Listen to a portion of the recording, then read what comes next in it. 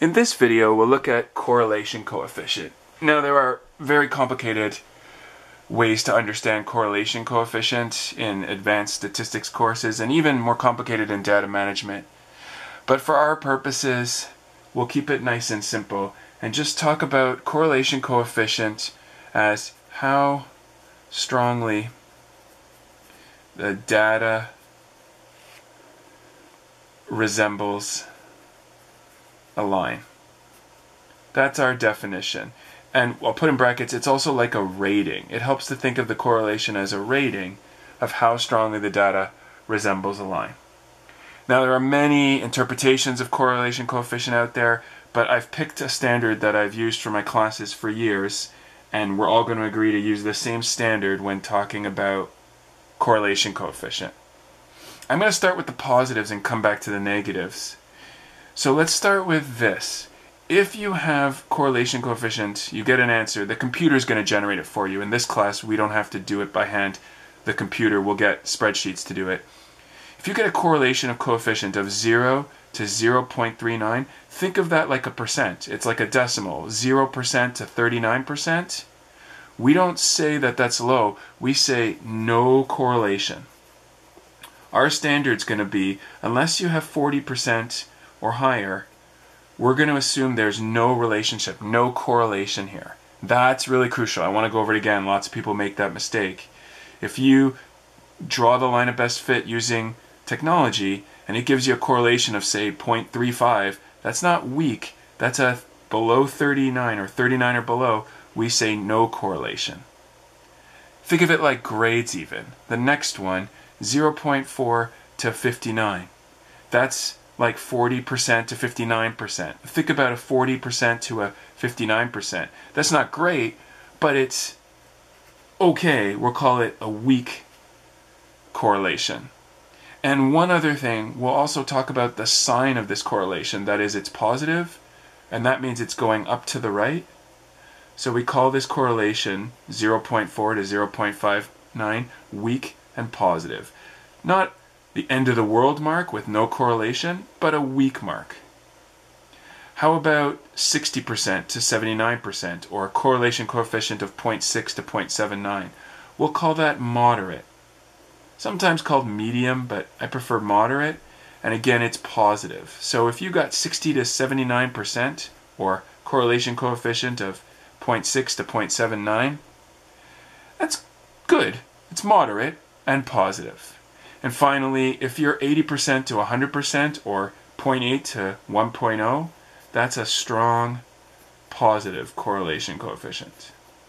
Now I think the negatives are easy to understand. It's the same type of thing except instead of the data going up to the right, it goes down to the right.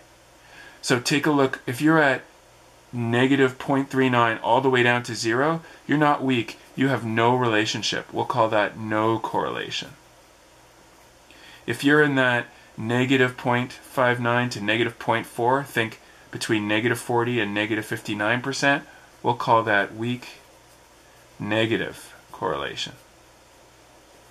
And just like the other side, if you're 60% to 79% but negative, we'll call that moderate and negative correlation.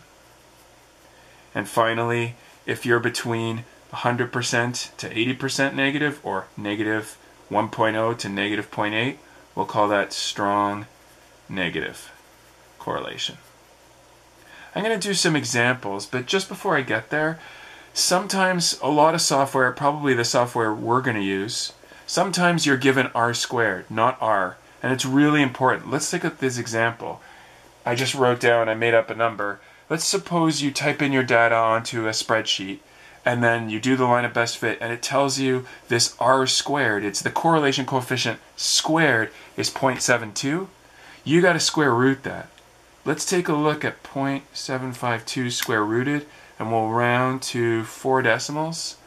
So r is approximately 0.8672 so it's important to remember if you're given r squared to square root it. That's your correlation coefficient, and that can be misleading. This r squared looked like it was just moderate, positive, when in fact, when we did the square root, found out the true correlation coefficient was 0.8672, that's a strong positive correlation. The last thing I wanted to do were some examples. I've drawn, well, sketched, very rough sketches here. I should probably label all the x and y axes. That's going to bug me later. I drew some sketches just to show you what they look like and then to make up what could be their correlation coefficient. We don't know. A, a, program, some piece of technology would calculate it, but we'll estimate. Take a look at this one. It's really strong. It's clearly close together like a line, and it's going down. So that's definitely strong negative. So somewhere in here, estimate how strong, we don't know. Pick a number, really any number, as long as it's in here, I'm going to estimate negative 0.91. As long as you pick in here, I'll give you full marks. This one here is also, well, not strong, but still very clearly like a line, though a little bit weaker and going down to the right. So that's negative. That's a moderate negative relationship. I'll estimate maybe that's negative point, I don't know, 0.72. I'm just estimating somewhere in here that's moderate negative. Here's a relationship very loose, but still you can see the pattern that it's going down. So I need something going to the right and down that's negative, and something that's weak. So maybe I'll say negative 0.44. That's a negative weak, and I just made up that number inside this range. Then I did two examples here. No clear pattern. I can't see it going up. I can't see it going down. And they don't look like a line at all. So both of them are no correlation. I can't even tell which is a negative number or a positive number. It doesn't matter. Both of them are no correlation. So maybe I'll pick this one is 0.22. I'm just making up a number that's no correlation, making up another one for this graph, which is also no correlation. But take a look at these last three graphs, all positive, going up to the right, this one looks really strong, very close to a line. Strong positive, I'm going to give it 0.95. That's like 95% like a straight line. If you got 1.0, that would be 100%. It's a perfect line, totally straight. So I'm pretty confident with this 0.95. And again, I'm estimating inside this range, 0.8 to 1.0. But if it's 1.0, it's a perfectly straight line, which this graph isn't. It's like a line, but not as strong as this one. I would say moderate positive. So moderate positive, I'm going to give it a 0.76.